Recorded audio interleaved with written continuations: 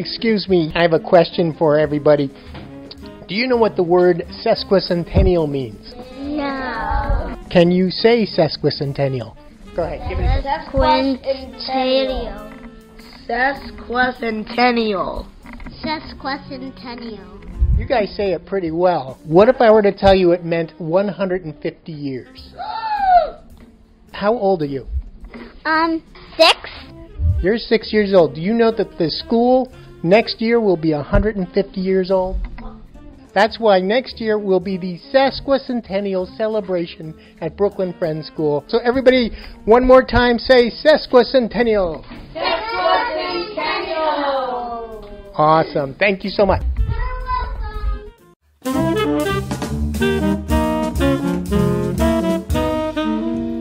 Hello, and welcome to the BFS E News Podcast. I'm Andy Cohen, your host. And that was a little bit about the sesquicentennial that's coming up, and we will be talking a lot more about that as the podcasts go on. But today, we're doing something a little different.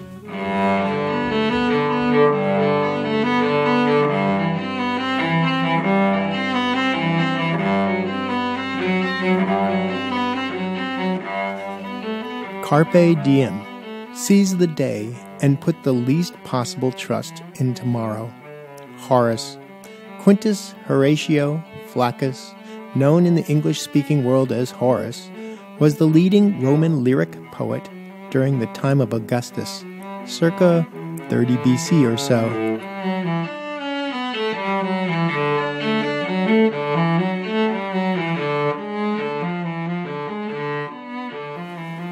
I think I got that right. And if not, because of the upcoming National Latin exam, here in studio we have the combined expertise of the BFS Latin teachers Katy Koken, Dr. Steve Wortman, and Martin Moore.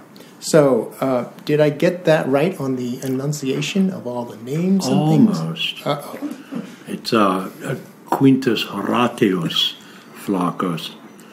Oh, very nice. Quintus Horatius. Horatius. Oh, oh boy. Okay, I never took Latin, and it's a it's a shame because I love language and I like to know roots of languages and I love history as well. And I think these are all kind of wrapped up into why we teach this dead language. Is that true? Latin is a language as dead as dead can be. First it killed the Romans, and now it's killing me, I think is the A most erroneous axiom. A way of looking at it is that it is ancient Italian. And another way of looking at it is that it's the official language for whole areas of the Vatican. Many court cases are conducted exclusively in the Latin language. But Latin is far from dead.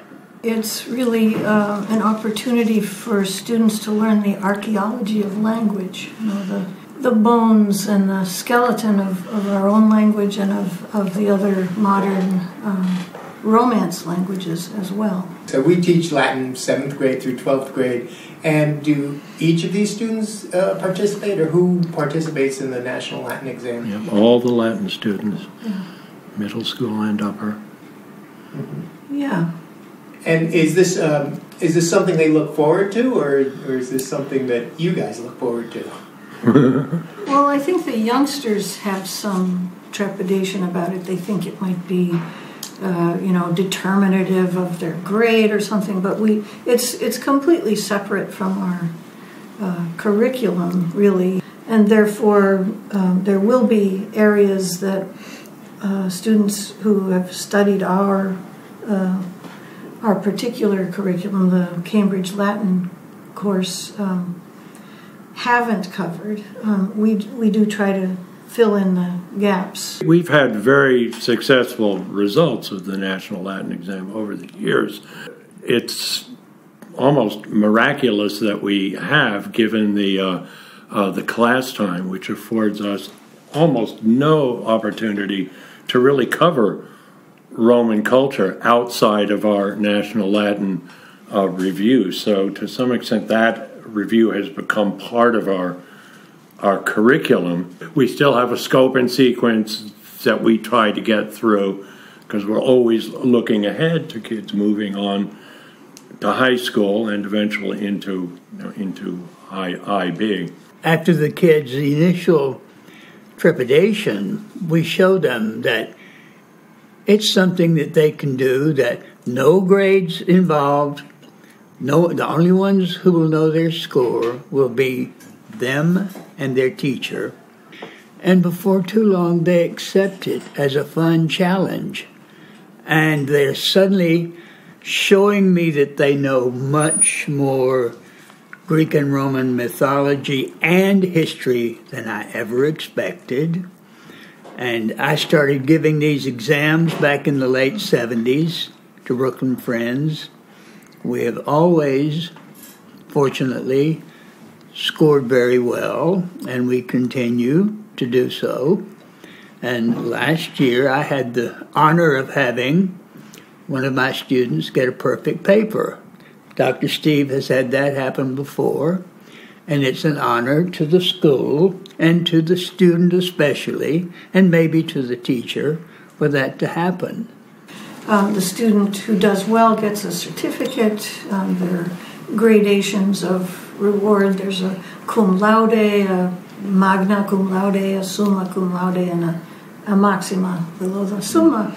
Um, and those who score at the highest levels also get a little bling. Bling, yes. You get a, a medal, a gold medal, or a silver medal, or a ribbon in the case of the seventh grade introductory.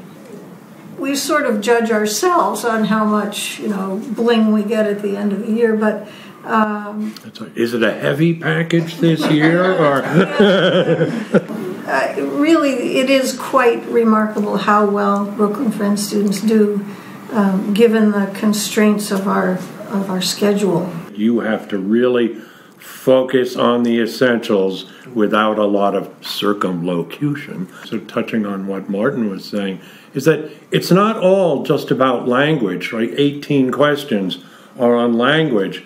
So you'll have some kids who you know, they're a little they have that really intimidates them, um, and especially since there are going to be a few things that they'll be given a crash course on.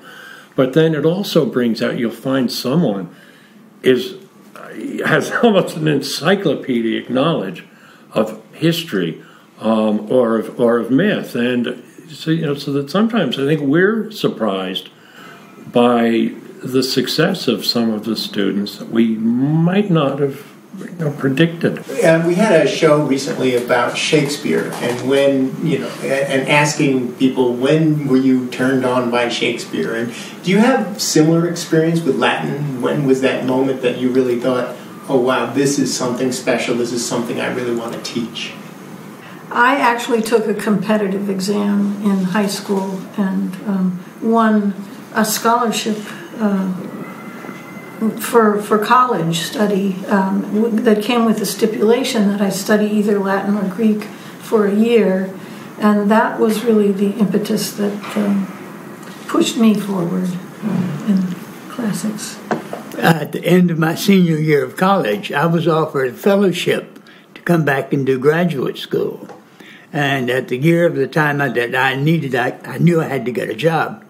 My Greek professor wrote me a letter of recommendation to a teacher's agency on the East Coast and got me a job in New York, where I'd always dreamed of going. Mm-hmm. And at that time, Latin teachers were in demand because it was right after Sputnik, and Americans were upgrading their educational system to keep up with the Russians. And they were not only upgrading science, they were also upgrading languages and good schools all taught Latin. And uh, it was my obvious choice since I majored in Greek and Latin.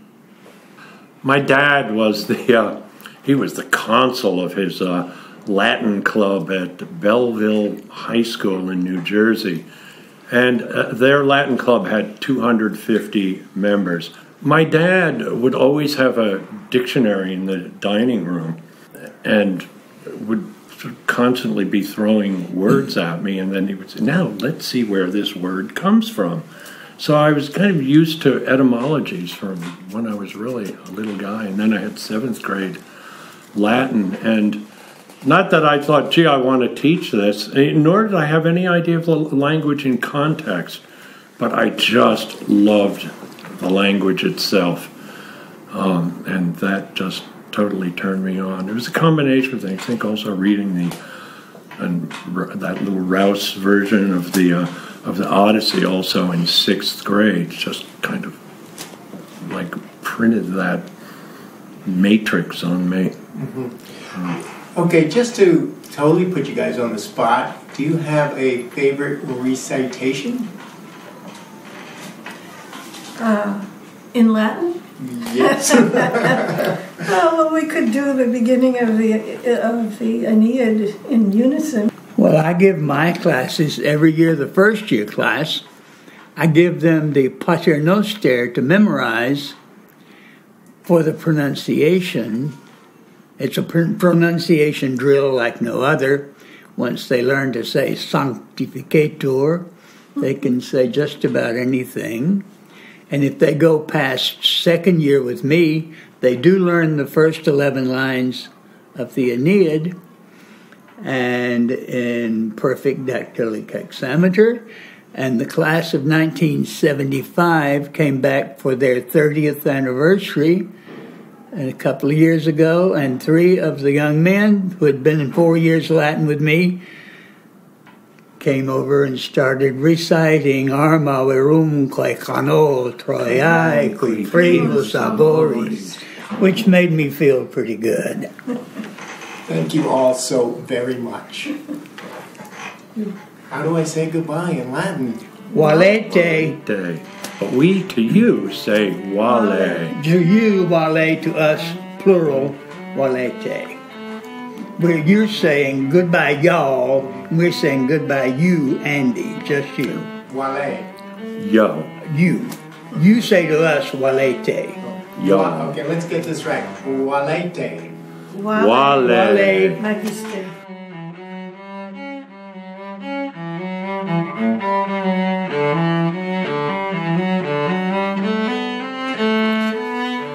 On today's show, you've been listening to some music from Elvira Sullivan, our orchestra teacher here at Brooklyn Friends School. She recorded that on her iPhone. Pretty good. Thank you so much. And whether it's English or Latin, let's all remember to let your life speak.